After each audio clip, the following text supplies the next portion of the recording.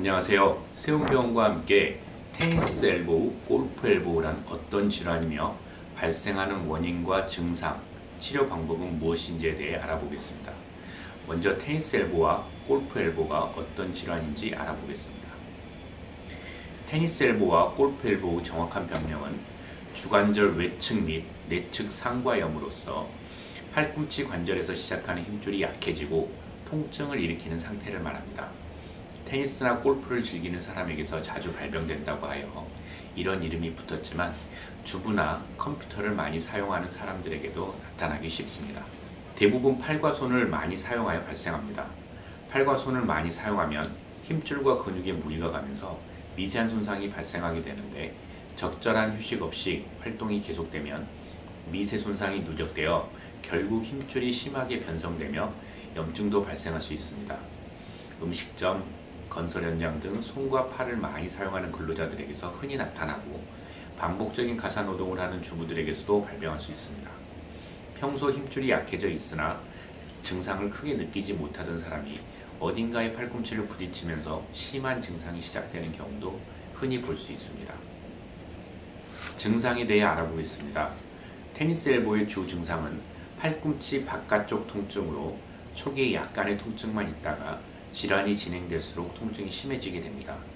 주로 물건을 들어 올릴 때, 주먹을 강하게 쥘때 통증이 있게 되고 손목을 굽혔다 펴거나 물건을 들고 손목을 위아래로 흔들면 팔꿈치에 통증이 발생하게 됩니다.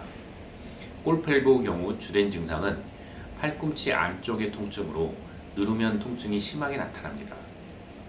또한 물건을 잡거나 걸레를 짤 때 손목이나 팔을 비트는 동작을 할 때 통증이 심하여 아침에 자고 일어났을 때 팔꿈치가 뻣뻣하고 세수하려고 구부릴 때 심한 통증이 나타나기도 합니다. 손바닥을 편 상태로 뒤집었다가 엎었다를 반복하는 등의 행동을 하면 팔꿈치에 통증이 나타나게 됩니다. 치료에 대해 알아보겠습니다. 테니스 엘보와 골프 엘보의 경우 초기에는 간단한 보존적 치료만으로 호전될 수 있습니다. 물리치료나 약물치료, 체충격파 치료를 시행하거나 보조기의 착용을 통해 움직임을 제한하는 것으로도 효과를 볼 수 있습니다. 하지만 이러한 치료로 효과가 없거나 상태가 이미 심각한 경우에는 수술적 치료를 필요로 하게 됩니다. 테니스 엘보의 경우 최근에는 관절 내시경을 통해 약 4mm 이하의 초소형 카메라가 달린 관을 삽입해 큰 절개 없이도 치료가 가능합니다. 관절 내시경 수술은 절개가 5mm 이하로 매우 작아 출혈이 거의 없고 합병증의 위험이 낮으며 회복이 빠르다는 장점을 갖고 있습니다. 또한 카메라로 관절 내부를 관찰하면서 치료하기 때문에 보다 정확한 진단 및 치료가 가능합니다.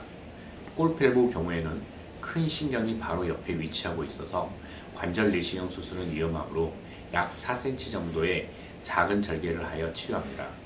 테니스 엘보도 관절 내시경 수술로 치료 후 재발하는 경우라면 절개하는 방법으로 다시 수술하기도 합니다.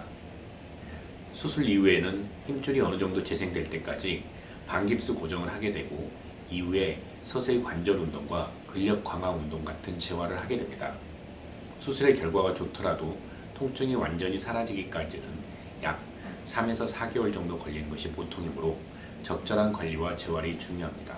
지금까지 테니스 엘보, 골프 엘보란 어떤 질환인지 살펴보고 원인과 증상, 치료 방법에 대해 소개드렸습니다. 궁금하신 점은 전화나 카톡으로 문의 주시면 친절히 상담해 드리겠습니다.